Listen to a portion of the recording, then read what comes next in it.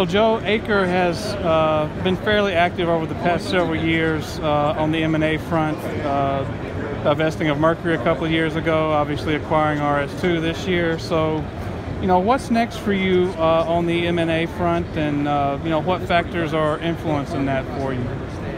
Well, the, what, what's next will be what has been the the premise of ACRE and our sort of investment thesis is around the highly fragmented access systems business. So if you look at most of what we've acquired, really fit that strategy.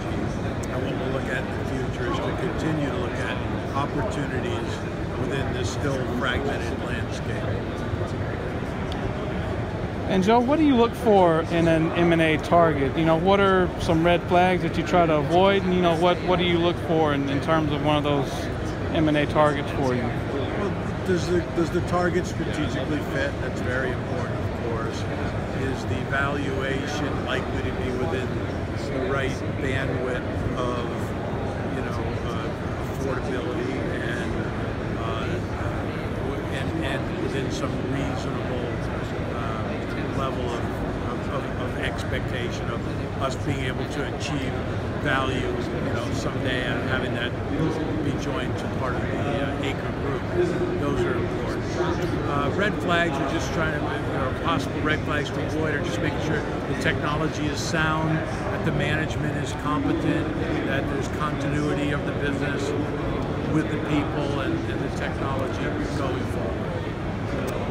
And what trends do you see driving the industry as we move forward, and, and which you know, have really influenced your strategy?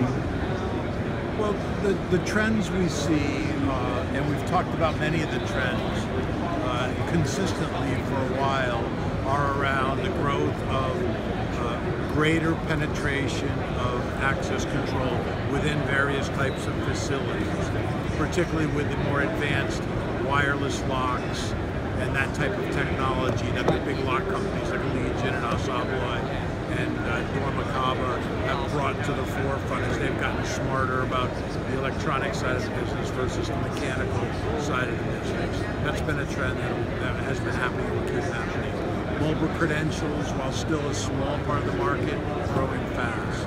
Uh, Cloud-based offerings, uh, both in the intrusion or burglar alarm and the access control side of the business, same thing. Still from a fairly small base. The, last thing I'll comment on is a focus on how secure are our systems against outside penetration. Uh, many of the systems that are out there are still quite old and are susceptible and vulnerable. So we spend a lot of time looking at making uh, systems more uh, robust in terms of their security. And you know what? What would you say excites you when it comes to emerging tech in this in this market? You know, you've typically invested in uh, companies that you know established brands and established products, but you know, would you be open to you know funding a, a startup around emerging tech in this industry? You know, I get excited when I hear about emerging technologies, uh, whether it's in, in the area of biometrics or mobile credentials things like that are, are very exciting. It's not our typical business model to invest in some of those, just because of where uh, we sit in our in our business today and how we're funded by our investors. But I, I always have time to talk to young entrepreneurs who've got a really great idea about the future. I do that quite a lot. And what kinds of unique insights, uh, you know, as having you know, somewhat regional centric firms. You've got your your brands in Europe and you've got your brands here uh, in North America. You know, what has that, you know, how, how has that, you know, kind of informed your strategy and, and what's the, the biggest difference you've noticed between the markets? Well, uh, while we have a number of companies that even at times compete with each other, what we've found is that there's very little overlap in the channel partners that they use. there are very uh, significant differences in the ge geographic strengths. Europe versus the U.S., certain parts of the U.S. versus other parts of the U.S., where the strengths of these businesses are and where they've evolved from their roots and matured.